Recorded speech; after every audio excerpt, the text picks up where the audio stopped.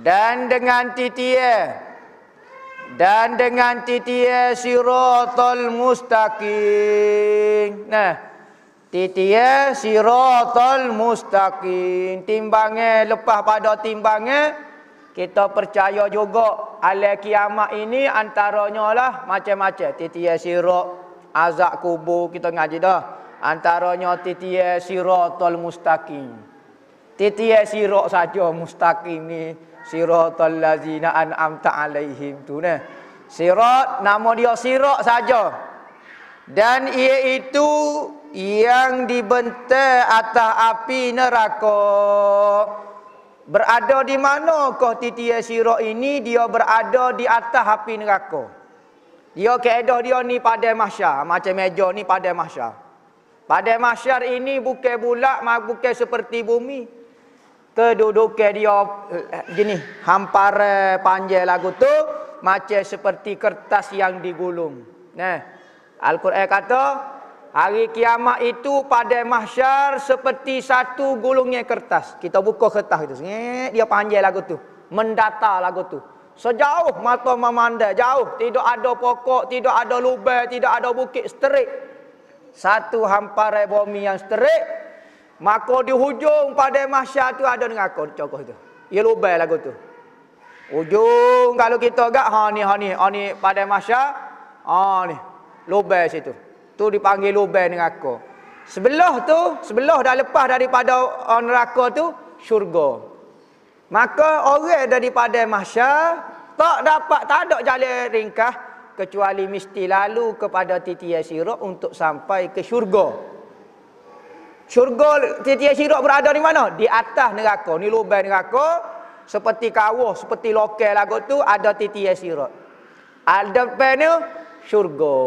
Maka siapa dia nak pergi ke syurga mesti kena litah. Lama mana, panjang mana tiap-tiap syirak itu?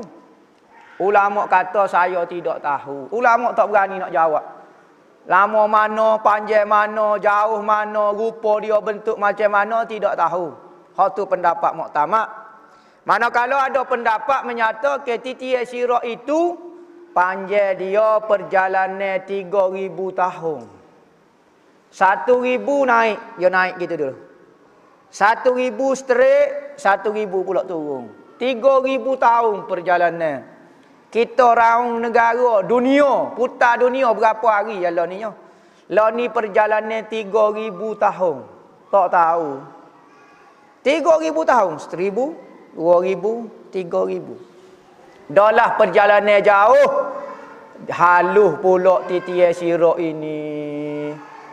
Maka titian sirok ini.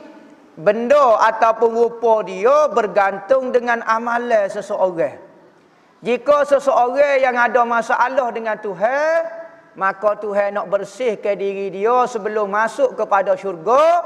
Tuhan Tuhan kecil ke titian sirok itu sehingga seperti rambut dibelah tujuh.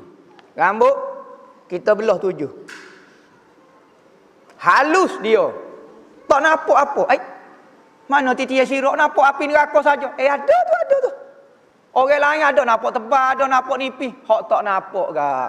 Rambut belah tujuh ni tak nampak. Rambut tu pening dah. Kalau tak tak kat cahaya tak nampak. Oh, belah tujuh dua puluh.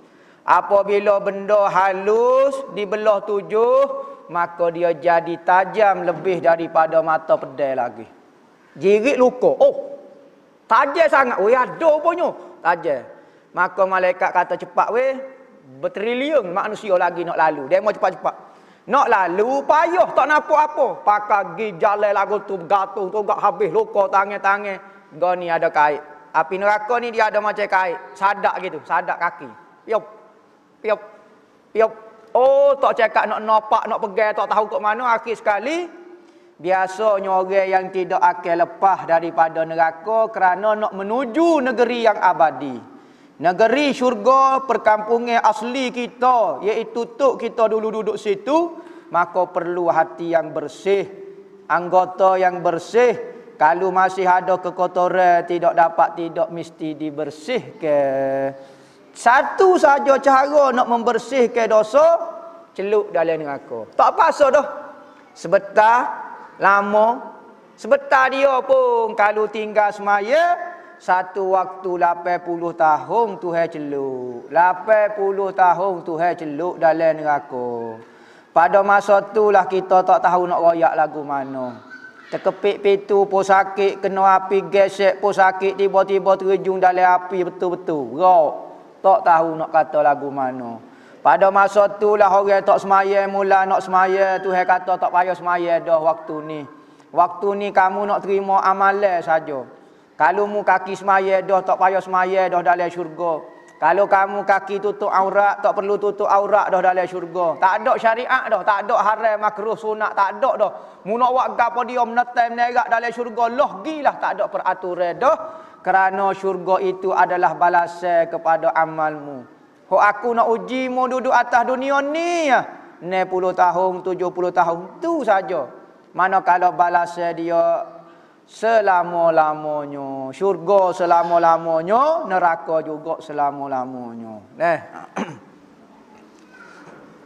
Masuk dalam syurga, tu titi sirok.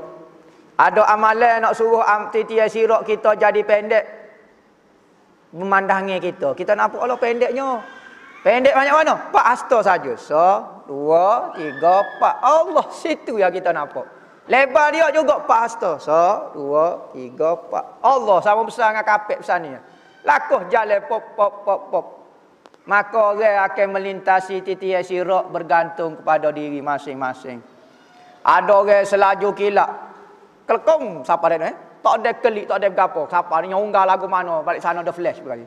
Ada seperti kuda, atau seperti orang berlari, ada mengesok dengan muka, ada macam-macam jenis kelakuan manusia bergantung dengan amalan dia atas muka dunia.